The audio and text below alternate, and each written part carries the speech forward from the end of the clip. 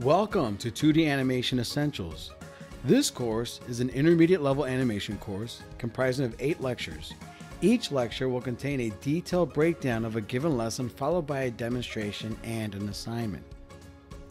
To begin this series of lectures, the students will be reviewing the principles of animation. Each principle will be broken down into a comprehensive explanation. This will allow students to fully engage with the concepts and help students apply the principles more effectively to their work. The second lecture will cover timing charts. Timing charts are an effective tool for animators to help with communicating timing and intention for a given shot. Students will not only learn how to read a timing chart, but also how to create one. After going over the use of a timing chart, the lecture will cover how to analyze a movement for the best performance. And last but not least, this lecture will introduce the use of video footage for capturing realistic movement, which can be used for referencing timing, body mechanics, and also camera angles. The third lecture will demonstrate the effective use of smears, also known as motion blurs. In this lecture, we will pause and analyze how a motion blur is created and why it is so effective in bringing life to any given shot you might be working on. This is a real exciting lecture for anyone interested in capturing that Looney Tunes Warner Brothers quality of performance to their work. Lecture number four will cover examples of silhouettes as it relates to the pose of your character that you're animating.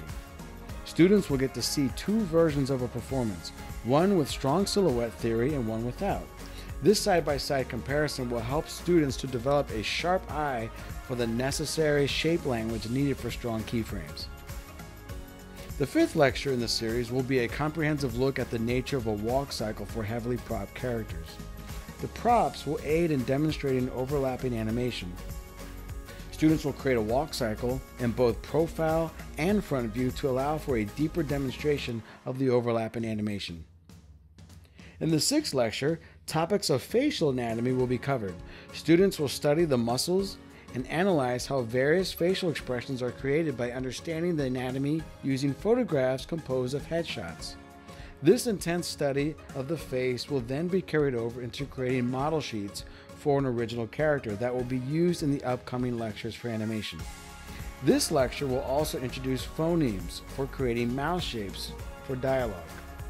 The seventh lecture will challenge students to create a scene that is well thought out regarding story and motivation for their animated character from the previous lecture.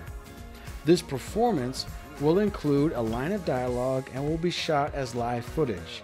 Students will import this footage and begin breaking down the shot into keyframes with strong facial expressions.